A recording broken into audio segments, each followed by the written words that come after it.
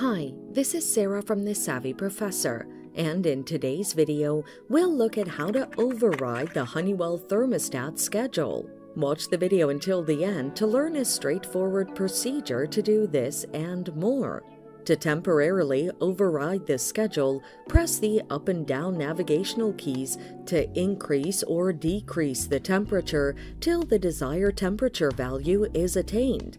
The period number will flash on the display to indicate that it has been overridden.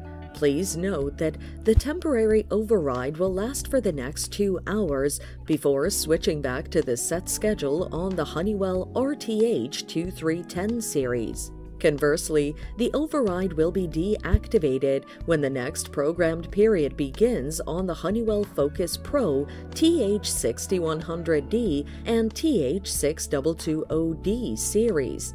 For a permanent override, press the Hold button to manually turn off the program schedule and adjust the thermostat.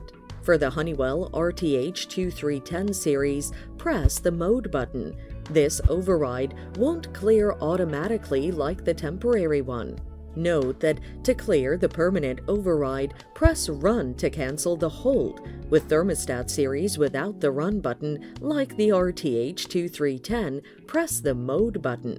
And that's it. Thanks for watching. Till next time.